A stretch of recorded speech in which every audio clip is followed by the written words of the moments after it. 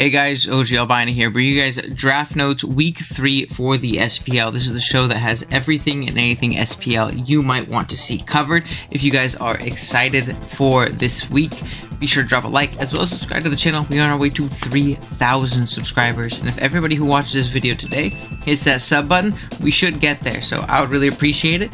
And uh, yeah, with that being said, we got a lot of fun games to go over, a lot of matchups to look at. And uh, yeah, let's jump into it.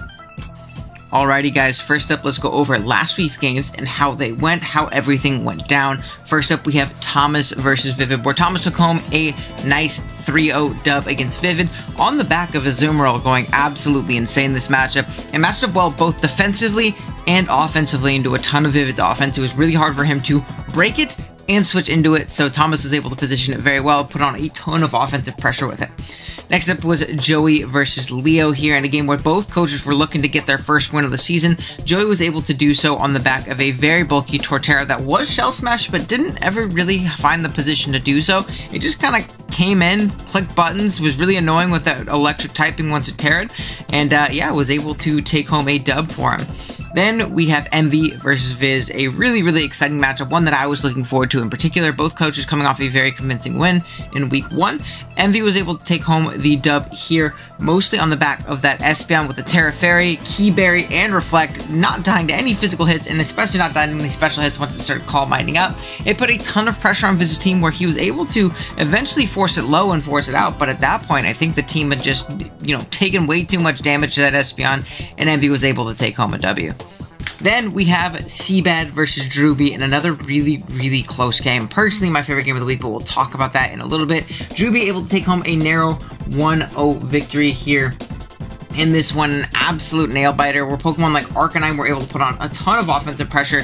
At the same time, Pokemon like Iron Bundle on CBAD side were also able to put on a ton of offensive pressure. It was a really, really back and forth game, and it came down to positioning and just having the right sacks, and Drewby was able to do so pretty well. So definitely a really fun one to watch.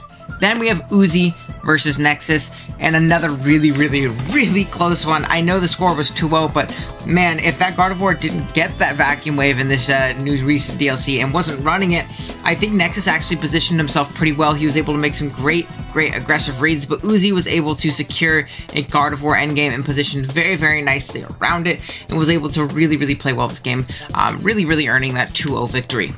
Then we had probably the biggest score gap of the week. Not probably, the biggest score gap of the week, with Kyle beating uh, the St. Oh my gosh, I almost said St. Louis Stunkies just because they both start with S. The Philadelphia Stunkies in Shuckle King 5 0 on the back of Noctowl. We will talk about it a little bit more later on, but Kyle bringing the heat again this week, and this week it ended up working out and getting them a 5 0 dub. Then lastly, we have Mefesto versus its Danny Mac. And Mefesto really, really was able to show off the Sand Spit Sandaconda and really control the weather game, which is important because I think he recognized in the builder that he didn't have much for Sun. A lot of Danny's Sun offense super, super overwhelmed him on Team Preview. So having that way of resetting said Sun um, and getting up a ton of hazards, really chipping things down and really being able to control that really put him in a great spot, and uh, he was able to take home only a 2-0 victory, but it was a very convincing 2-0 victory. He was in the driver's seat the whole time.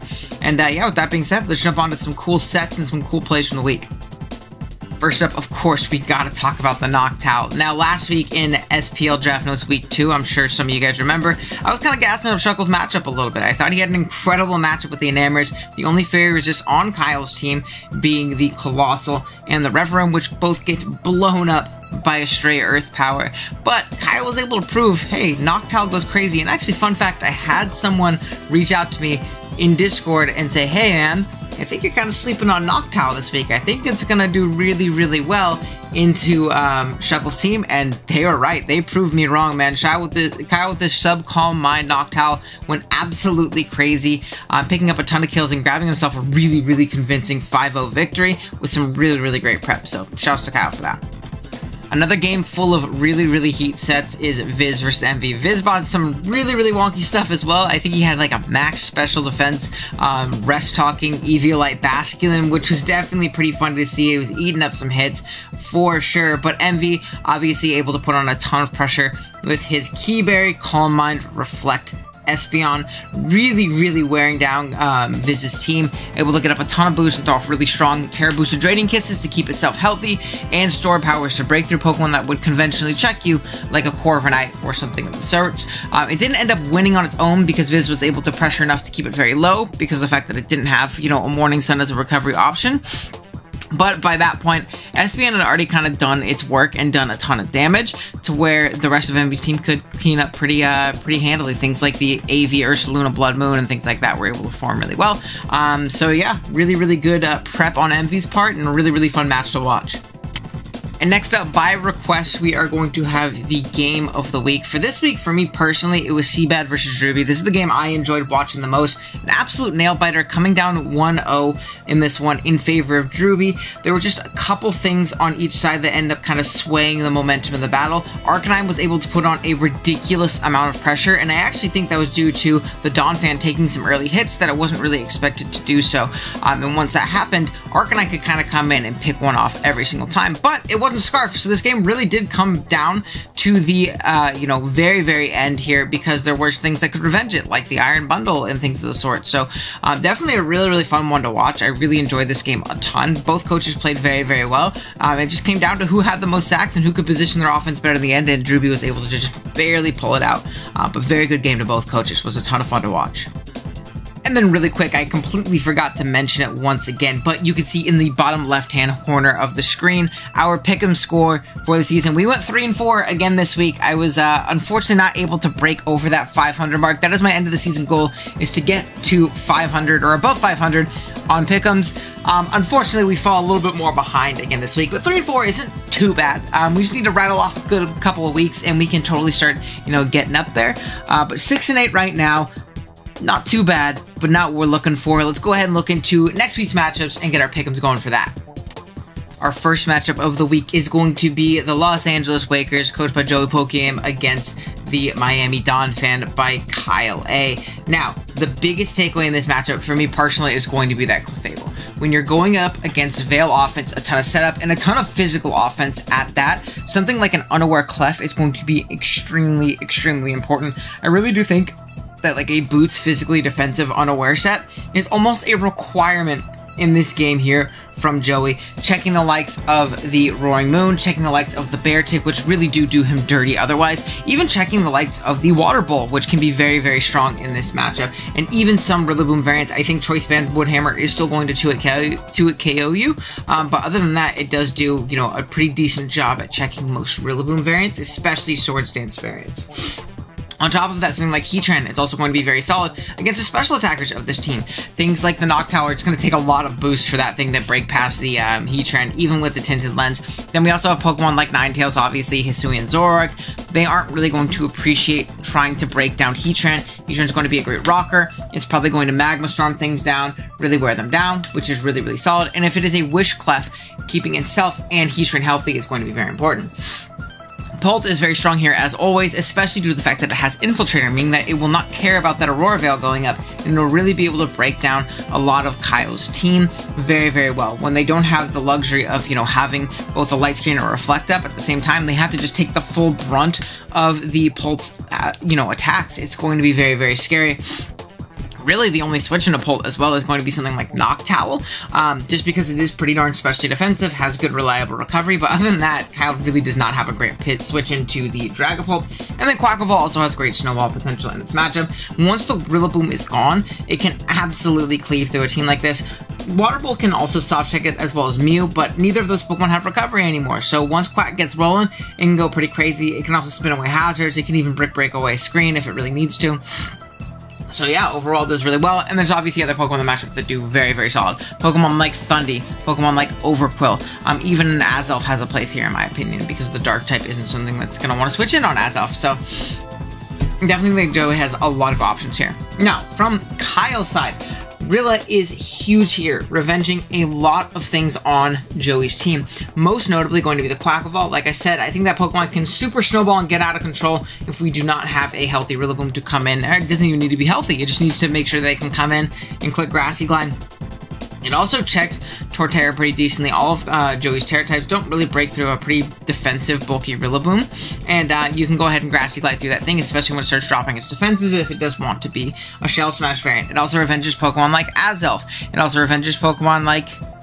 Yeah, that's it. You can also go pretty fast and, you know, hit the Heatran with a high horsepower which can always be very, very nice and spread knockoffs and be a big nuisance that way. So, while Rillaboom has potential offensively, I think that a more defensive Rillaboom is actually going to be really clutchy for Kyle. Now, the next most important Pokemon for Kyle, in my opinion, is going to be Mew. It has a ton of awesome sets that I can run here, but the two that I think are most likely, or the two that I think do the best, right? Number one is going to be a trapping set, which seems weird, but something like a Sand Tomb or a Fire Spin. I think Sand Tomb because it hits Heatran like a sand, sand tomb taunt set to really break down and whittle down one of those defensive walls in either Heatran or Clefable. It would be incredibly, incredibly nice if this thing can remove the Clefable. I think that Kyle's matchup goes from disadvantageous to very, very good if we can get rid of that thing immediately, right? So that's an option. Or Another very, very likely option, something I think is more noticeable in prep, is like an offensive Mew. And I'm not even saying setup, because like I said, the Clefable is sitting right there, but like a 4 attack Life Orb or Expert Belt set, whether it be physical, special, or mix, does very, very well here. I would probably lean special. Psychic, Earth Power, Sludge Bomb hits like everything really, really hard, and then you could tech on either like a Dazzling Gleam or an Ice Beam or something of the sorts and you're going to hit a lot of things very, very hard. There's not a lot of things on this team that are going to want to switch into consistently. You could even tech on some kind of priority option like a vacuum wave if like the torque gets weakened, but probably not. Realistically, I don't think that's the uh, the best case. Or even just a random taunt to make sure that the Clef can't heal up after you hit it with a really strong Life Orb Sludge Bomb, um, or even like the Torterra can't set up, or the Heatran can't set up rocks, or the Overqwil can't set up spikes, or whatever it may be. I think like a taunt 3 attacks or a 4 attacks Mew could be really, really strong here. Um, and yeah, if like I was saying though, sorry, kind of stumbled over my words a little bit. I think if the clef is removed or broken down in some way to where that Roaring Moon or that Tera Electric Beartic can come in, I think that Kyle can really flip this matchup, but I think it is very contingent on Clef going down. So if Joey plays the Clef right, I do think that he wins this game, and I am going to take Joey in a slight margin in this matchup. Alrighty, our next matchup is going to be Thomas and his Copenhagen Gallades, I believe the team name is, and Drewby and his New York Marauders. Now, on Thomas's side, some things to note. I think that Azu does very, very well in soft checking a lot of this team. Things like the Arcanine and the Mence, it is always going to threaten out. It also checks things like Lokix, always pressures out the, uh, you know, the uh, Iron Treads. It really does hit this team pretty darn hard with just its stabs plus knockoff plus Aqua Jet. Um, so I think that that Pokemon is going to be very, very important in this game. I think King is a bit annoying for Drewby to pivot into. Uh, I think some kind of like offensive Trick Room type set, or even just a physically, physically defensive variant with like a Future Sight, Sludge Bomb, Surf, maybe Ice Beam as the last move, can do really, really well in this matchup, and it's going to be really obnoxious for Drewby to pivot around. And then on top of that is Baxcalibur. Now, Orthworm does check it very well, right? It checks it very, very well. But once that Orthworm is whittled down or taken out of the game, I think that Bax can really go to town. Maybe a Choice Band variant to break for itself, because nothing wants to take a Choice Band Glaive Rush on this team, right? The Fairy is going to be something like pheasant Fezandipiti, which is going to get blown up by any type of Icicle Crash or Spear, or even a random Earthquake, which you're probably not going to run in this game when Orthworms is the most likely pivot, but Regardless, it's not going to take an ice move, if that makes any sense. And other than that, you can kind of just click Glaive Rush against the entirety of this team and do a ton of damage. Orthworm can take it, but it doesn't have any reliable recovery, so it's really only a one-time check to a Choice Band set, depending on what it wants to click. On top of that, I think Raichu is also very good here. If you think look at its uh, coverage options of just really electric plus water, it hits Drewby's team incredibly, incredibly hard and he doesn't deal with it all too well. Outside of like maybe a Spit of Fez, um, an AV Iron Treads could be a good pivot into it, um, and really. That's about it. I mean, I think it does really, really well here. It's very strong, which is pretty funny to say for a Raichu. Um, now, it's not the most naturally strong Pokemon in the world, so you can kind of like just naturally outstat it a lot of the times, but I think it is something to keep in mind. Now, from Drewby's side, oh my goodness, look at the Ogerpon water matchup it goes insane. Um, the combination of just dual stabs plus U-turn plus play rough uh, just goes absolutely insane here. Um, play rough slash I think low kick it gets um, as well, or at least some kind of fighting coverage I know it gets. Either of those really work, um, and you're able to kind of just grab momentum for yourself, really break through this team a ton. I think an offensive set would do really really well here. Um, just kind of clicking its dual stabs and you turning around when disadvantageous matchups and Pokemon come in. It's not like your water and grass resistant Zarude is going to be able to come in and take a U-turn afterwards. So if you can get up apt hazards, really just rocks and maybe spikes from your Orthworm, you just kind of click Ivy Cudgel throughout the whole game and prosper. I don't see there's like there's much uh, counterplay here on Thomas's team. Iron Chest does really well as well. We kind of mentioned it before, but I think Assault Vest would be a very solid shout, or even a Shuca Berry variant. You know, to switch into that Bax, another Pokemon that can kind of do so, uh, which would obviously be you know pretty solid if Orth doesn't come. But I think Orthworm really should come. I think it's great here, man. Um, it walls Gliscor. Now you can't do much back to Gliscor, but walls Gliscor. It checks things like the um, Zarude. It checks the heck out of Bax. Um, and it does really, really well here. It checks the um, Alolan Sandslash as well if Thomas wants to go the sa- or the uh, Hail route. I almost said Sail route. Um, so I think that's obviously a really cool option here. And then Slowking and Orthworm just make a really solid defensive core. Um, especially defensive Slowking plus physically defensive Orthworm do really well here. Now, obviously, Orthworm does get whittled and chipped down, but if it can kind of just stick around for just a little bit, maybe you go Resto Chesto variant, maybe you even go Rest Talk and you go full send into Orthworm being here for the whole game and not setting up hazards. I think that you can do really, really well here. Um, on top of your other offensive pieces like a Lokix, which can do really, really well here, Arcanine, um, Salamence, things like that. I think that Drewby does have this matchup in my opinion, so I am going to go for him pretty much on the back of this Ogerpon water that goes absolutely insane here. Next up, we have Emvee versus Mefesto, and the first thing we have to mention here is going to be that Blood Moon, man. Look at this thing and look at Mefesto's team. The combination of Blood Moon plus Earth Power hits the entirety of the team ridiculously hard. Your last two move slots can either be like Moonlight and Calm Mind to set up and try to win the game and just outbook everything, or you can even go with Hyper Voice over like a Calm Mind, right? Or even over a uh, Moonlight if you feel like you don't need to, you know, keep the uh, Blood Moon healthy. Just in case there are Protect Pokemon, like something like a Protect Zapdos could be really, really obnoxious for something like Blood Moon, because if you're mono Blood Moon to hit it, then you can't hit it every other turn because it's going to Protect. Now you can't take advantage of that make some aggressive switches, but I feel like having a way of hitting it if it is a Protect variant is going to be very, very nice, obviously. I think it also could totally run a Chople Berry variant, um, just because a lot of the moves that are going to try and revenge it or really do any damage to it are going to be fighting coverage from things like Cinderace, from things like Scizor Close Combat, from things like the Gengar Focus Blast. If you can live a hit from all of the offense, you're going to put yourself in a good spot against Mefesto's team. G Weezing also feels very, very important. It switches really well into Samurott, and it also defogs away those spikes, and those spikes look very, very potent and strong against Emvee's team. So I think he is going to need to bring Galarian Weezing and need it to be a defogger in order to have a lot of success in this matchup. And then Manaphy also looks incredibly strong. I think Tail Glow is probably going to be the best set this week with Surf, Ice Beam, and then um, some kind of other coverage move, whether it be like a Dazzling Gleam or an Energy Ball or something like that. But item wise, I could totally see it being some kind of resist berry, like Rindo or Wacan, just to take those hits from like maybe a Yachi or Scarf.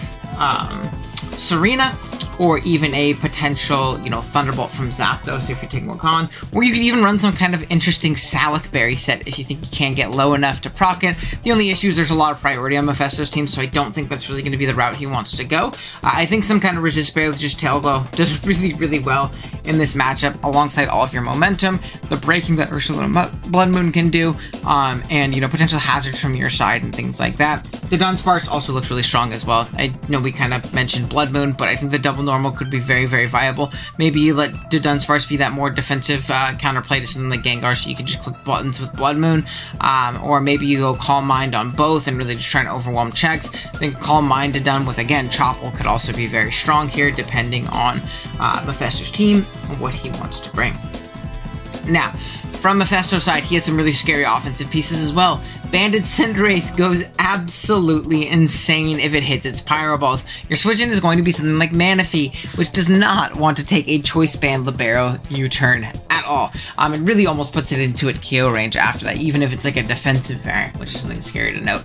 Um, Scizor also does really well, likewise, with Bullet Punch, U-turn, and CC. Last move can be Knock Off, It can be um, Swords Dance if it really wants to be Really, the bug, um, steel, and fighting combination hits Emvee's team very hard, as it hits most teams hard, but it hits most teams very hard. Zapdos is kind of a requirement for the Sneasler, and in general, I think that Zapdos, um, being more physically defensive and then like especially defensive Florges, is going to be a very solid defensive core here for Mefesto. Gengar can also be situationally strong as a like T-spiking variant because if that uh, Weezing is either levitate or if it wants to, you know, come in and absorb that T-Spike and the Gengar's on the field, Gengar's going to bully the Weezing unless it's like a random Psybeam set. Um, I actually don't know if it still gets that. That might be like a regular Koffing from early gen move that it could run in Gen 8, but not Gen 9. But regardless, it doesn't beat Gengar, right? Um, so having that T-Spike option to really whittle things down could be really solid. Obviously Sneasler as well, but I could totally see Emvee leaving Sneasler on the bench. If it comes, it's just going to be a U-turn bot, probably with protective pads to kind of avoid statics from the Zapdos, because uh, it doesn't do particularly insane in this game with things like the um, Sandaconda, Zapdos, Scizor, um, and things like that, and even Gengar, which just naturally eats up its stats, so it's interesting. Now, I do think that Mefesto's Terramons look really bad here, which is another unfortunate, you know, byproduct of this. Something like Espeon can really do well for uh, Emvee, whereas I don't think that his Terramons are particularly great, at least when they're tearing. Um, I don't think they really help out with a ton in this matchup in particular. I am going to lean Emvee in this matchup just because I think that the combination of his double normal plus Manaphy is very overwhelming for Mefesto, but I do think that there is an angle where Mefesto wins this game with Cinderace plus Scizor, um, doing really, really well here. Next up, we have Nexus versus Leo in a very hype matchup. And again, we gotta shout out the, you know, very, very obvious. Iron Moth goes crazy here. It just doesn't have counterplay. I think a Choice Specs variant from Nexus absolutely massacres Leo. The combination of Sludge Wave, um, Overheat slash Flamethrower, Fiery Dance, whatever fire move you want to go for, probably Overheat just to kill something every single time, plus like Energy Ball goes insane here. It, it just simply does not have counterplay in this matchup. And if you take that in combination with uh, the Ogerpon Cornerstone, which one looks very solid on its own right, but two, its switchins they don't deal with moth. Something like Tinkaton or Magneton, which are probably going to more than likely be a pivot in. Uh, mostly Tinkaton, um, not Magneton, because I don't think Magneton is very good as pivot, actually, to be fair. Um, but the Tinkaton comes in, it gets you turned on, Moth comes in, overheat overheat, overheat, overheat. You OHKO thick fat Mamos with an AV, um, with like rocks up with this Moth. I think it has an absolutely insane matchup. Another Pokemon that grabs free Volt switches and free Moth switches is going to be a Tera Ice Hisuian Electrode. Really anything that pivots in on it is going to get blown up by the Iron Moth. Everything in, in its own right, it does very well. Ice plus Electric plus Grass just doesn't have consistent counterplay, and I think that Nexus can really take advantage of Leo's team by grabbing constant momentum into this Iron Moth and clicking buttons. Now, booster speed or a Choice Scarf Valiant also seems very, very nice here because one, it outpaces like a Scarf Infernape, it outpaces Torn then, but most of all, it's going to allow it to outpace a plus one Haxorus, which looks very, very threatening against this team, which we'll talk about here in a second.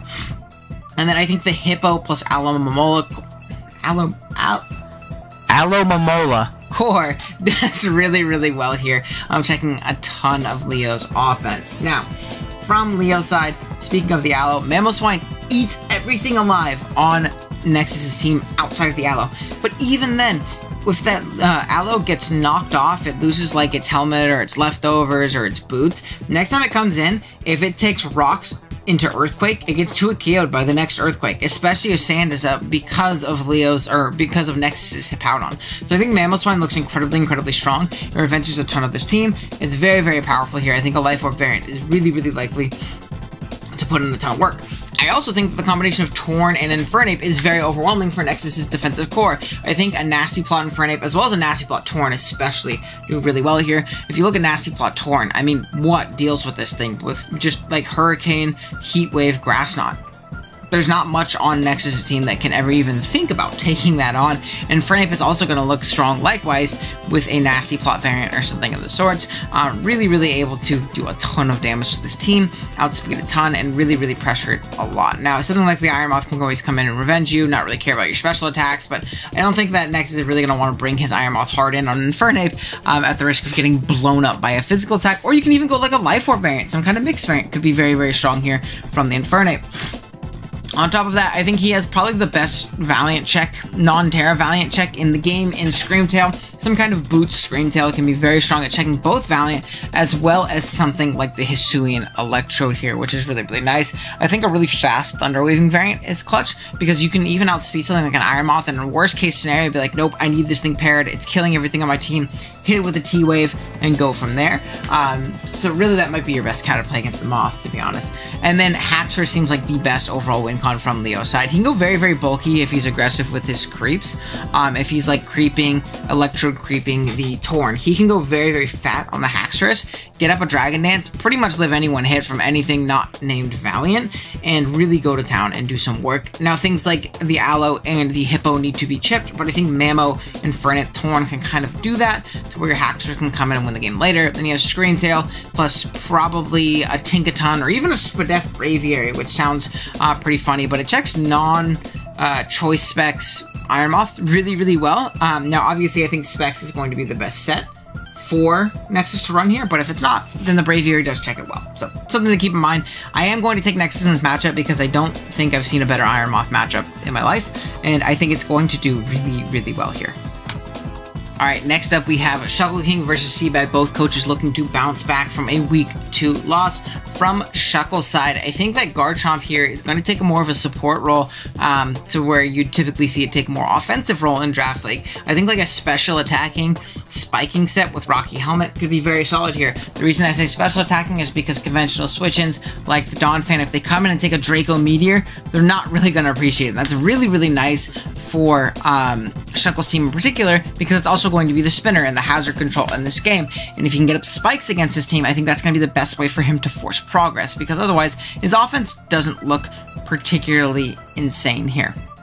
I also think that the Rocky Helmet Chomp can be a very good Ogerpon check if we get up rocks slash spikes and we're chipping with Rough Skin slash Rocky Helmet every time it attacks it's going to get whittled pretty darn fast, which is really, really cool, obviously. I think that Meowscarada is going to be his best way of forcing progress and doing a lot of damage. Some kind of Choice Band variant can be very strong. Really, the only check is going to be something like a Klefki, and if we can break open that um, to where something like our Namers can go crazy, then that's obviously going to be very, very nice, or even our Monkey Dory. I also think that the defensive core of Bronzong Umbreon looks strong as per usual. And something like Basculegion can also be very strong as well. I mean, some kind of Choice Specs variant, maybe even an Assault Vest variant to, you know, take a bundle hit and kind of revenge it really easily. And uh, even take like a Hydreigon hit and hit with a strong, strong Ice Beam. All those things seem very, very viable. And this might even be the week to get Bramble off the bench. If we can keep up hazards, spikes, and rocks against CBAD's team and spin block against the Donphan, I think that that's going to allow us to really, really um, break down his team a little bit quicker. Whereas, again, otherwise, I don't think we have the best defensive match or offensive matchup in the world. But at the same time, Brambleghast is pretty bad here, other than just spin blocking, right? It kind of loses to everything on CBAD's team. So I probably wouldn't bring it, but it's at least something to keep in mind and maybe just test during like, you know, mocks and building and things like that if Bramble is going to be worth it. Now, from CBAD's side, I do think that there's a couple Pokemon that look very strong. Something like the Ogerpon is always going to be very powerful in this matchup, right? Um, its Dual Steps plus Play Rough is going to hit the entirety of the team very, very hard. Um, and really, only the guard Garchomp is going to be here and around to check it. So that's something to keep in mind. If that thing takes really any chip at all, the Ogerpon gets crazy, crazy strong and kills something every single time it comes in if it's like a Sword Dance variant, which is obviously something cool to mention. I think a physically defensive Umbreon could take it on and or take a hit at plus two and foul play and knock it out.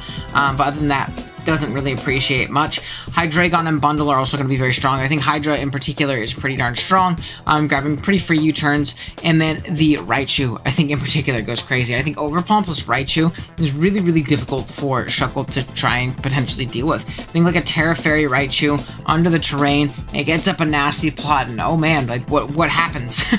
what do we do? We now resist Sucker Punch. We now hit the Garchomp really hard. We can kind of blow through everything on this team with Electric plus Fairy. There's not really anything that takes it on. If we get up a nasty plot, there's not much that we can do, like I said. Um, and if the uh, terrain isn't up, the only thing that really revenges outside of Scarfers is going to be something like Meowscarada. You outpace everything else otherwise, and you resist all relevant forms of priority outside of Shadow Sneak from Brambleghast once you Tera Fairy, which I think is really, really clutch. I think that plus hazards is really going to be overwhelming for the potential Hawlucha endgame. I think Encore Bundle also really is solid in this game and kind of punishing a lot of the fatter things, the more passive things on Shuckle's team. Because while the Bronzong Umbreon is very strong defensively, um, it can kind of be exploited a little bit. So that's something to keep in mind here when looking at this matchup. I am going to take CBAD in a slight margin just because I think that Shuckle struggles breaking through CBAD. Um, a little bit more than CBAD struggles breaking through Shuckle's defensive core and things like that. And I think he can um, overwhelm him and put a lot of pressure on early to where something like either the Raichu or the Hawlucha can win later in the game with Pincurchin, um, you know, electric terrain support. That is. So, yeah, I definitely think it's going to be just a little bit in CBAD's favor. Next up, we have Uzi versus Danny. From Danny's side, I think a really, really strong Pokemon, which hasn't really been able to shine so far this season, is going to be the Okidogi. I think some kind of four attacks or either AV variant uh, or some kind of resist berry looks really, really strong. I'd personally go AV for a lot of, you know, Uzi special attackers, so you'll naturally be able to check now. Things like the Shaman, things like the Kilowattrel, you'll be able to take a hit from them and revenge them, as well as the Dragalge, which is really nice. But there is one good check to it in this matchup in the Great Tusk. But one, Great Tusk is really good against you uh, offensively. So forcing it defensive or forcing damage on it is going to be great. And even as a defensive check, if that thing gets toxic chained, it's really going to be worn down very, very fast. And I think that's actually really valuable for Danny because we'll talk about it in a second. But holy moly, this, this dude's ground resistance is shifty. So like, I feel like I would take the damage on the Tusk. I also think that some kind of like mixed Charizard could be cool. It could even still be like minus attack, but like Earthquake for Dragalge and then just kind of button clicker otherwise. It goes absolutely insane here and does not have good switch-ins under Sun. So I think some kind of, you know, really strong breaking Charizard could go absolutely crazy in this matchup. And then the combo of Lycanroc Okidogi is also really strong here. Um, just because, again, main test, check those things is going to be something like a Great Tusk, but if we're whittling both of them down with, you know, one or the other, we should be able to break for each other. And I think, like, Oki breaking for Lycanroc is going to be really solid here, because Lycanroc outside of the Great Tusk looks absolutely insane in this matchup. Now, over to Uzi's side. We've been talking about great tusks from Danny's side, but man, from Uzi's side, holy moly, this thing is insane. It does have great defensive application in this game, like I said, checking things like Lycanroc, checking things like Okidogi. Um, but offensively, oh my god, especially if Sun comes, I'm running Scarf Tusk and I'm killing everything. The ground resist on this team is going to be shifty, and the immunities are not good right? They're just not very good. Um, they're Stone Edge away from getting absolutely blown up, especially if we're getting that booster attack. And I really do think that a Scarf variant could go absolutely insane in this matchup. You gotta be careful of pivoting into Oki, though, because you don't want to get knocked off. Even then, this Pokemon looks very, very powerful in this matchup. Now, if one offensive ground does well, how does the other one do? Well, very, very well. We have Ursaluna, which can even serve as like the breaker for something like Great Tusk. If we come in with like some kind of Flame Orb variant with just like Facade, Earthquake slash Headlong, and then Crunch or Ice Punch or whatever coverage move you really want to run, oh my god, like it, it, just kills something every time it comes in if it's positioned well. Now it does chip itself down with its own flame orb, and there is plenty of things that can revenge it. But if we do position on the few things that we can pick a KO on, and even if Ursaluna gets one or two, I think it really opens up a great Tusk endgame where it goes absolutely insane. So I think that's really nice. Ghost Resists are also abysmal on Danny's team. We have Furret and Shiftry, which do not appreciate Ceruledge. I think Ceruledge can do a ton of work in this matchup. Again, especially if Sun boosted, some things are really going to get beaten down on. Um, Bitterblade plus Poltergeist looks really, really strong in this matchup. Empo is going to be great in this game. It is the best wake check in the metagame. It, it just simply is. So Wake is almost effectively just gone in this game. That plus Shaymin should actually check the Sun offense very, very well. Outside of Pokemon like Charizard, which is why I really think that from Danny's side, a more offensive Charizard should come um, to try and break through that conventional defensive core. I think that Empo, Shaymin, and Dragalge all do really, really well together though here, um, and can really put on a ton of pressure on Danny's team in particular. And then maybe looking for some kind of healing wish in the back, whether it be for Gardevoir, um, if that ends up coming as like a scarfing variant or just any variant in general, or even from the Shaymin. If we could Healing Wish up either Luna or more than likely the Tusk if we have to use a little bit more defensively into like Lycanroc, I think that's a really clutch aspect um, and, and, a way to keep it healthy and be able to use it throughout the game, to break for itself, to pivot in for itself, and then kind of come back and get a second life and do a ton of damage. I think that this matchup can definitely be won on both sides, but I am going to go Uzi here just because I think the double ground offense is just too much for Danny's team to handle. Um, as long as he can deal and pivot around the Sun well, which I think he does have a good Sun matchup in Pokemon like the Empoleon, Shaymin, and Dragalge, I think he's going to be in a pretty good spot. So I'm going to go Uzi here. Then lastly, we have Viz versus Vivid here in another really, really fun matchup. Now, from Viz's side, I think the combination of like Spadef Ape and Spadef Ting-Lu just match up so well into Vivid's team. A lot of his offense, those special breakers, those uh, top three in particular, in the Kren, Gholdengo, and Chi-Yu, especially Chi-Yu and Gholdengo, they just hate having to play into Annihilape Ting-Lu, and that's what Viz has as a really solid core on his team. I think um, getting up hazards as well with Ting-Lu or Glimmora, they're basically infinite in this game, right? And what I mean by that is while Vivid does have two hazard, you know, two spinners in this game and a defogger, they don't do so well, right? So Regieleki the spinner loses to the hazard setter, and Ting-Lu. Cyclizar never gets a spin off while Ape exists. It just never does. It cannot pressure it. Ape always comes in, either eats up the hit and gets a Rage Fist boost, or it keeps the hazards, um, or just blocks the Rapid Spin. Either way, you're in a pretty good spot if you're um, Viz in that scenario. And there's also like a random defog Kleavor, but the likely pivot into Kleavors could be something like Ape, and if you give that thing a Defiant boost, have fun switching in. You just don't switch in. And if you want a U-turn, get off negligible chip on the four times resist, once again, boosting the Rage Fist. So, I think that um, the combination of Annihilape Ting-Lu just puts a ton of pressure on Vivid's team. The combo of fire plus fighting also looks really solid, so I think something like an Armarouge can really put in a lot of work offensively against Vivid's team, and then Jolteon looks incredibly obnoxious as well. Again, the hazards that go up in this game, plus Jolteon pivoting around, um, and then plus things like Annihilape, Ting-Lu, Corviknight potentially, Glimmora putting in a ton of work. Um, the Dragonite also looks very strong potentially with like a Dragon Dance variant. Um, I really do think that Viz's offense looks pretty incredible in this game. Vivid needs to overload Viz's team like crazy. And what I mean by that is, like we said, something like Ting-Lu and Annihilape, particularly Tinglu, are going to check a lot of your offense. So we need to use that offense to force in Ting-Lu often as as often as humanly possible. Again, something like a Lava Plume, um, Chi-Yu, or Ruination set to really, really put a ton of pressure on that uh, Ting-Lu is going to be really nice for something like a Scarf Gholdengo, which seems really solid here. That's going to outspeed a plus one D-Knight. It also nukes something like the Annihilape, which really puts on a ton of pressure on your team. And there's not great ghost resist other than the Ting-Lu.